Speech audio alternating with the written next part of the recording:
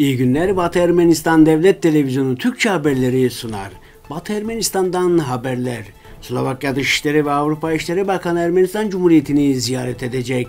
Putin, Macron ve Merkel İdlib'deki durumu ele aldı. İran'da parlamento seçimleri başladı.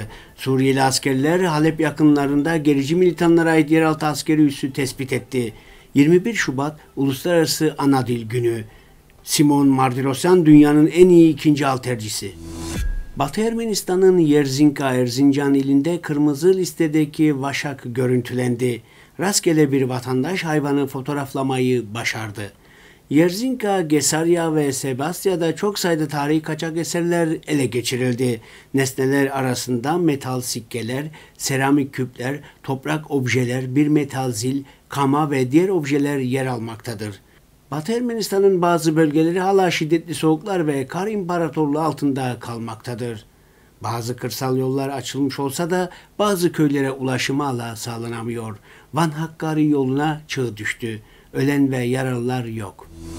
Ermenistan Cumhuriyeti Dışişleri Bakanlığı Basın ve Halkla İlişkiler Departmanlığı'ndan Armen Press'e yapılan açıklamaya göre Slovakya Dışişleri ve Avrupa İşleri Bakanı Miroslav Lajčák 24 Şubat'ta Ermenistan Cumhuriyeti'ne resmi bir ziyarette bulunacak.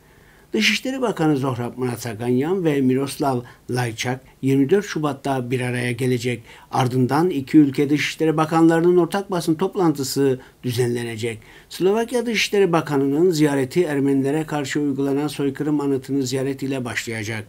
Ermenistan Cumhuriyeti Başbakanı Nikol Paşinyan ve Devlet Başkanı Armen Sarkisyan ile de görüşmeleri yapılması planlanıyor.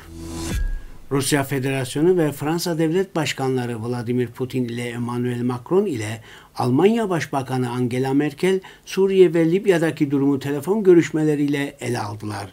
Kremlin basın servisinden yapılan açıklamaya göre İdlib'deki gergin durum bağlamında Suriye krizinin çözümüne özellikle dikkat çekildi. Emmanuel Macron ve Angela Merkel Suriye'nin kuzeybatısındaki gerilimleri azaltmaya istekli olduklarını ifade ettiler.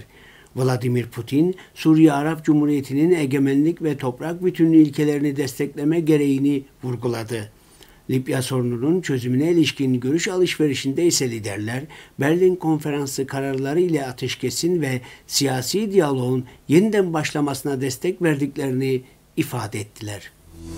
İran İslam Cumhuriyeti İçişleri Bakanlığı'ndan verilen ve Armen Press tarafından aktarılan bilgiye göre İran'da parlamento seçimleri 21 Şubat'ta yerel saatte 8'de başladı.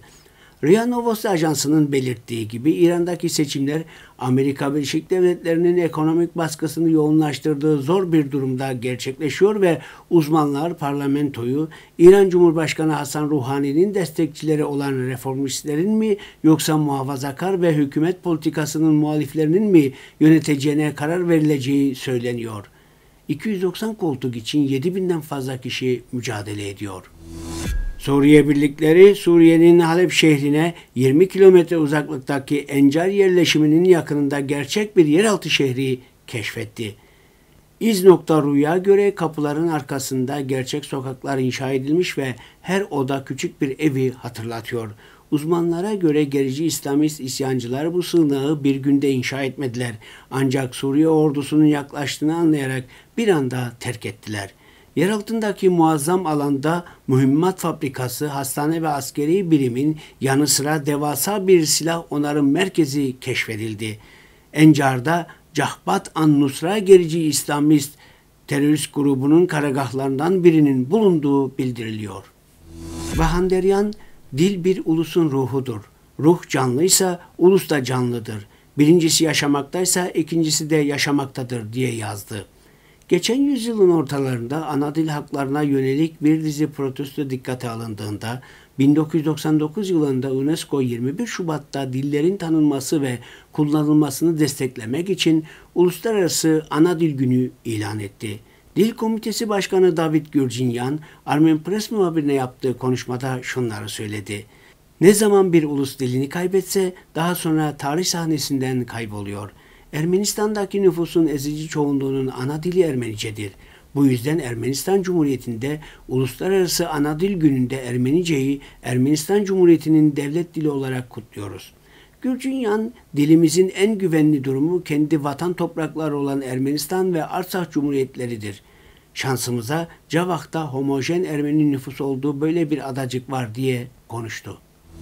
Ermenistan Cumhuriyeti Ulusal Halter Takımı üyesi Simon Mardirosyan, Uluslararası Halter Federasyonu'nun yılın en iyi halterci yarışmasında ikinci sırada yer aldı. Army Press'in aktardığına göre Uluslararası Halter Federasyonu oylaması sonucunda Mardirosyan 5514 oy topladı.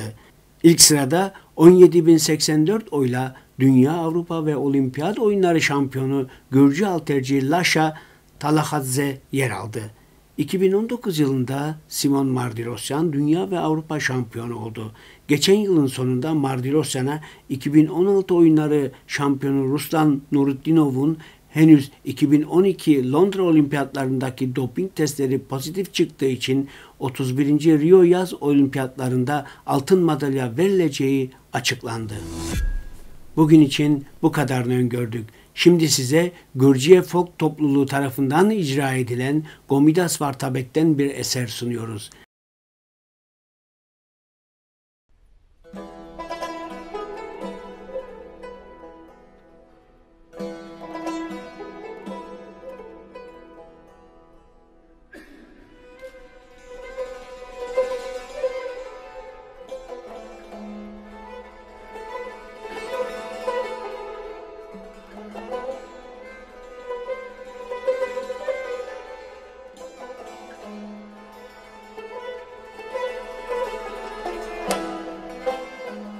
Eserin tamamını Batı Ermenistan Devlet Televizyonu'nun resmi sitesinden izleyebilirsiniz. Hoşçakalın.